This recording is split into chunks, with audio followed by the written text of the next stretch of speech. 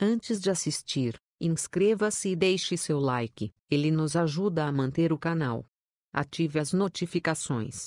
Obrigado e bem-vindo ao canal. Um novo casal está prestes a se formar, nos próximos capítulos da novela A Terra Prometida. Depois de Ru engatar namoro com Jéssica, a felicidade volta a sorrir para Adélia. A irmã de Nesia está sozinha desde a morte de Temá, irmão de Isaac, a quem foi prometida. Percebendo a tristeza do filho, Pedael o aconselha a conquistar a hebreia. O guerreiro, então, convida a jovem para uma dança. Com atitude, Isaac pede Adélia em namoro, mas a garota diz que ainda vai pensar. As cenas estão previstas para irem ao ar na semana que vem na trama bíblica da Record. Logo depois, não escondendo seus sentimentos, o irmão de Temá olha admirado para Adélia. E não demora muito para Isaac tentar beijar a jovem, mas é nesse momento que Salmão, sem querer, atrapalha o clima. O marido de Rabi aparece para avisar o guerreiro que Josué está ordenando novas buscas por Samara,